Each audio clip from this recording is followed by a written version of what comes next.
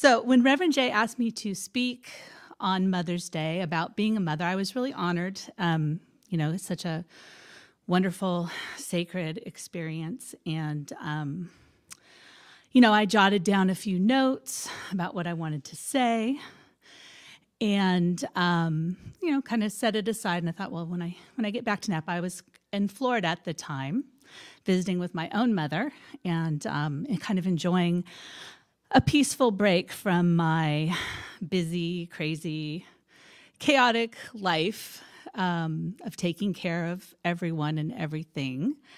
And uh, you know kind of in this very relaxed state. I wasn't even watching the news. I was just completely away from everything which was a wonderful break. But when i came back from that break and i did turn on the news um, i did see what was happening in the courts and it was such a challenge for me to uh, reconcile what i saw you know that women's rights were being taken away the right that that i had to choose to be a mother and saw that you know the difficulty there. It was it was it was a little disconcerting. So i had a really hard time pulling together these really clever anecdotes and cute stories that i had although i do have a couple of those um, uh, so you know it was this idea that you know motherhood is a choice.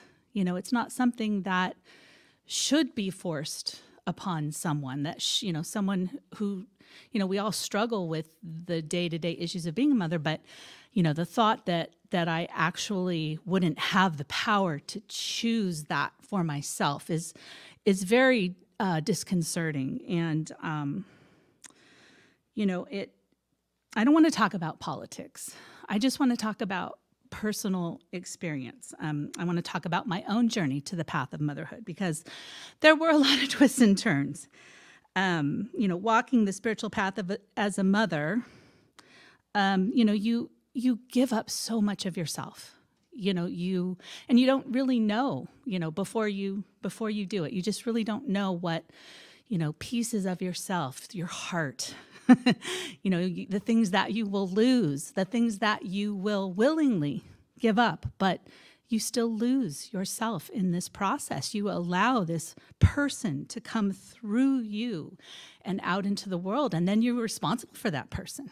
You know, you don't just get to walk away from it. You you are connected to it, and um, you know, my I have my beautiful daughter Kaylee is 31 weeks pregnant right now. And I know the joy of being a grandmother is just like, I can't even explain how excited I am. She sent me a picture when I was in Florida. Um, oh, I'm going to cry. and, you know, it was a 3D or 4D picture of this baby, this literal baby that had a face and a, you know, and a life. And I was just like, I, I, first thing I said to my mom was, "It looks just like you, mom." she wasn't really thrilled about that. she said, "Do you mean all wrinkly?" And I said, "No." but you know, my mother and I haven't always had the most easy relationship, but you know, as she's gotten older and I've gotten older, we have come together and you know, there's been a lot of forgiveness, there's been a lot of, you know, our journey together was was uh, really challenging at times. You know, she, you know, I was born in 1965, um, you know, the sexual revolution, there was a lot going on. But I grew up believing that women had the power to choose, that women were equal, because that's all anybody ever talked about was how equal we were. But all I ever saw was my mother taking on all of the responsibility, doing everything.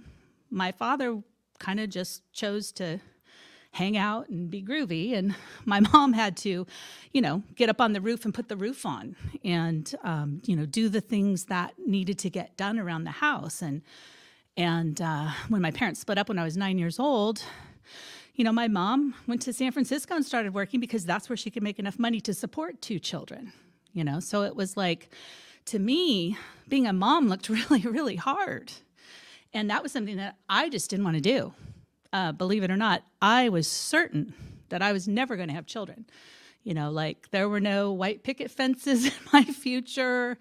I was uh, working at Meadowood. I was uh, making good money and really enjoying my life and had decided that winter that I was going to follow some of the people that I worked with to the Virgin Islands to work in the winter because back then in St. Helena, they literally rolled up the sidewalks during the winter. I mean, there was like nothing going on and they would close down, you know. And so I was prepared to go on an adventure, you know, have a journey, be go out and see the world, you know. Having children was the very last thing on my mind. And, um, you know, fortunately, I live in a state where they educate children so that they know what to do. So I knew what to do to not become a mother. But that summer, I got a really horrible case of poison oak. And it just kept traveling down my body. And I went to the doctor, and the doctor put me on steroids. But he forgot to tell me that the steroids counteracted the effects of the birth control pill. so imagine my surprise at 21, you know, living this fabulous lifestyle, and I was pregnant. And I thought for sure that I knew exactly what I was going to do. But inside of me, this voice just said, You want this baby. I was like, What? Where's that coming from? No, no, no, no, no. I, I don't want this. No. And it was so clear. It was so, you know, this this this desire, this thing inside me. And I knew that I was going to do this. I was single, I was young, I didn't know what the heck I was doing, but I was going to have a baby. And, um, you know, I was, her father didn't really want to marry me, but we kind of stayed together. But after, at nine months, he was gone, and I was a single parent.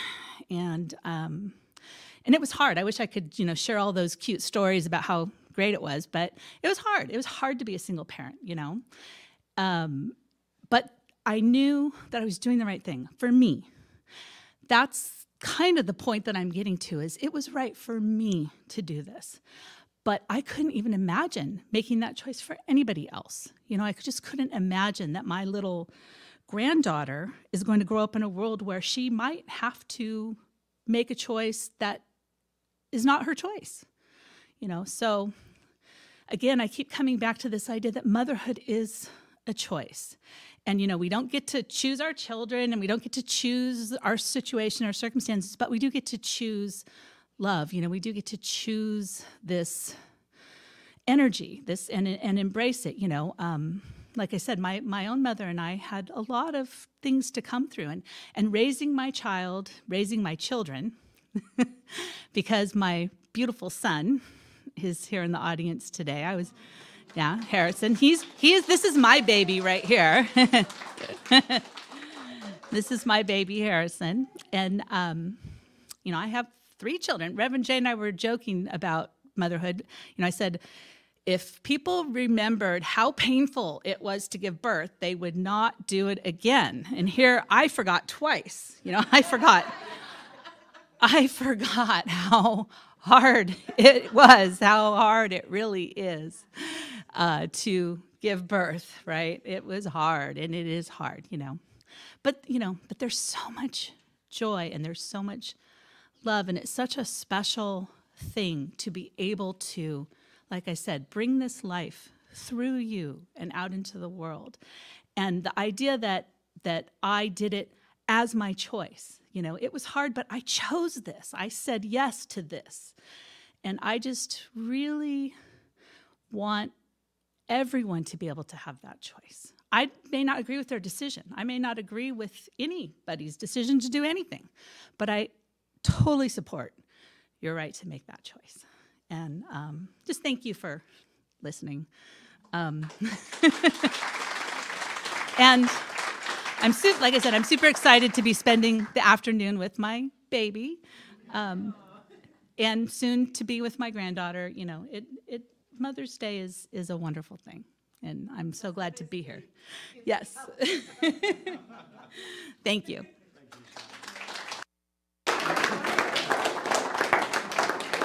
Aww. Isn't it how interesting how there we're always babies, right?